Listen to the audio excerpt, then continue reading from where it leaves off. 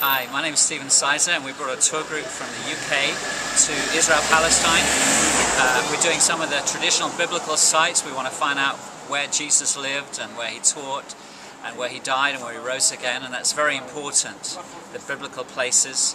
Uh, but we also want to meet the people. We want to meet the local Christians, the Jews and the Muslims and find out what it's like to live here, some of the struggles they face and this particular day we're in Bethlehem in one of the refugee camps, Aida camp, and we want to find out what it's like to be a refugee, why they're here, uh, and, and, the injustice of the occupation.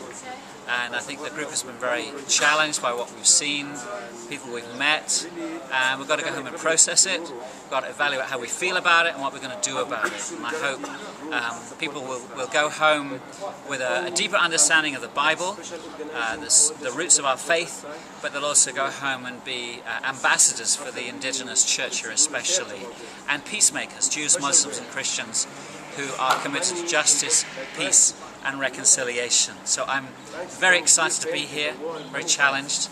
Uh, and I'm looking forward to March next year, March 012. We've got a big conference here in Bethlehem, Christ at the Checkpoint, uh, and it's bringing Christians around the world to Bethlehem to learn about um, how we can um, respond to the uh, injustice of the occupation in non-violent ways and bring hope and, and reconciliation to this wounded place. So if you're interested, we've got some fantastic world-class speakers coming. John Ortberg, uh, Lynn Hybels, uh, Ron Sider, Tony Campolo, Shane Claiborne, Chris Wright, many others who want us to think theologically about the land and how we should, uh, how we should interpret uh, events today in the light of Scripture and God's purposes.